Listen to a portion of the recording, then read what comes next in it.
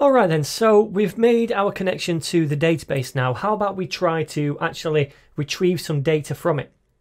So we do that by issuing SQL or SQL commands or otherwise called queries. Okay, now there's three steps to making these queries, sending them and getting the data.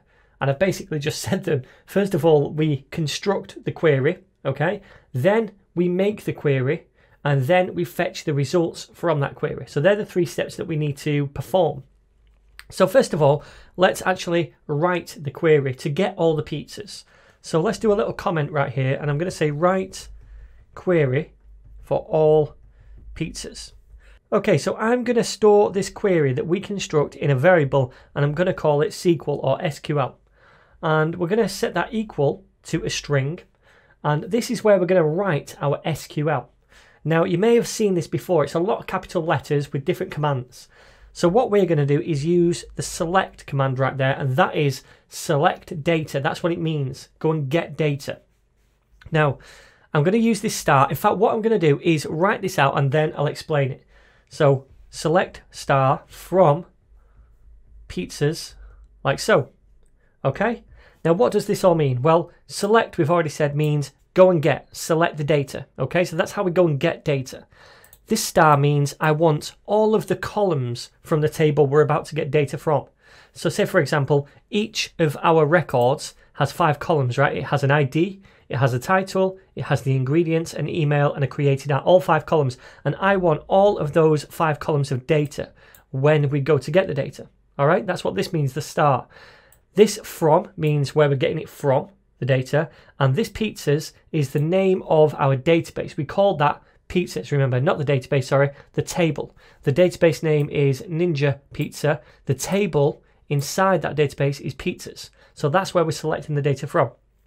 So this would go ahead and select it all. I don't want it all, I just want certain columns. So the way we do that is write out the columns that we actually want. I want the title, the ingredients and the ID because we're going to use that in the future. They're the only three columns that I need right now. Okay. Right, so the next step is to actually make the query and get the result. So we'll say make query and get result.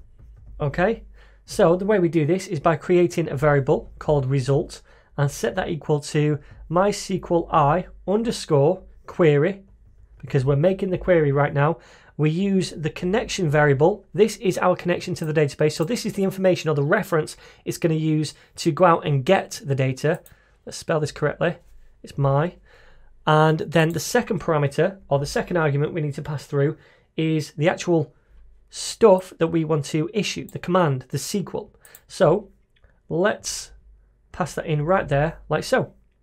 So that then, my friends, is going to actually make the query to the database and get us some kind of result right there. All right. Now, that result isn't just an array of uh, pizzas or anything like that, an array of records. We actually have to get from that result the array that we want. And this is the third step. So we need to fetch the resulting rows.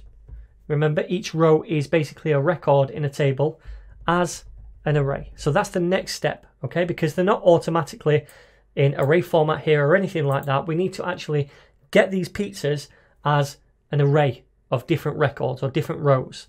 So I'm going to store this in a pizzas variable and set that equal to my SQL I and then underscore fetch underscore all because we want all of them and we're going to fetch them from the result that we just got from making this query right here that's where we're fetching them from.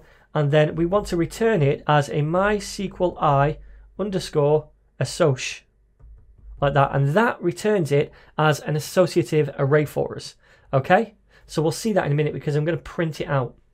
In fact, what I'll do is I'll print this out first. So we'll say print underscore R, and then we're going to print out the pizzas. Okay, so just quickly, again, what have we done? One second. Well, first of all, we've connected to the database. Then we've constructed this query string using select and from to say where it's from as well. Then we've got this variable called result where we store this query that we're making via this connection, so we know where we're connecting to, what database, and we're issuing this command, this SQL command right here that we constructed. That should get us this data right here from this table, okay?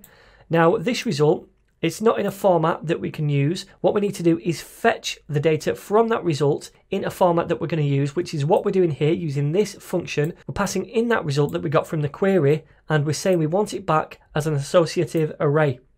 Then we're printing that array to the browser. So let me see if this works.